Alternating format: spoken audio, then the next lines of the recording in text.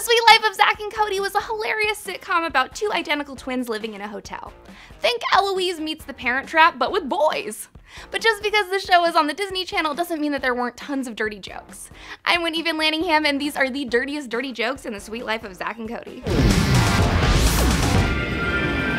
Number 6. When Zack and Cody get a new job at the Paul Revere Mini Mart, things get a little competitive between the two brothers.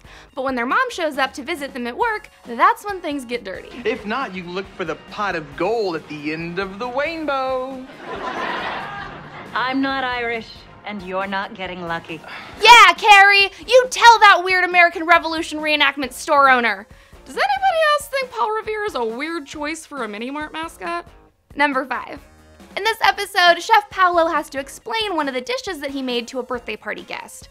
Of course, things get real TMI real quick. What's in it? Ah, tomato, zucchini, green pepper, olive oil, virgin olive oil, extra virgin olive oil, olive oil with the questionable past. Mmm, slutty olive oil. Perfect for snacking. Number 4. After London's father goes bankrupt and loses all of their money, London is forced to abandon her Paris Hilton lifestyle and move in with Maddie. Of course, London isn't used to doing any chores at all, so when Maddie says this, she doesn't react like a normal human. It's time to strip and make the bed. Okay, that's what poor people do. Whoa there, big girl!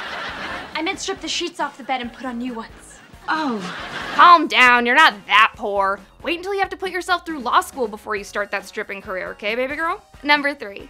With Maddie's 16th birthday coming up, the boys are trying to find her the perfect gift.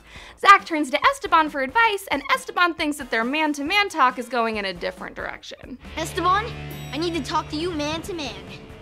Oh, don't tell me you want to talk about the birdies and the beesies.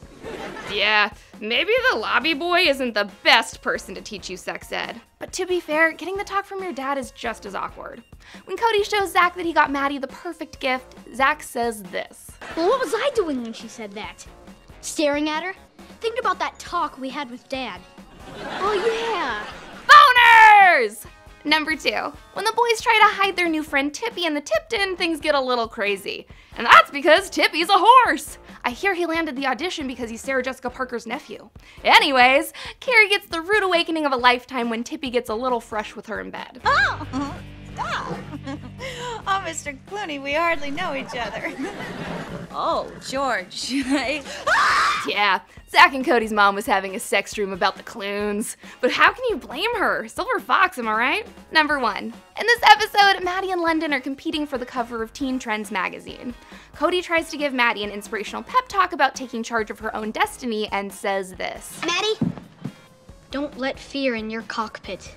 don't let what in your where? Ah, the cockpit. Nature's special pocket. These are my favorite dirty jokes from the suite life of Zack and Cody, but I want to know what you guys think in the comments. Like and subscribe to Nerdwire, and I'll be back next week to ruin your childhood.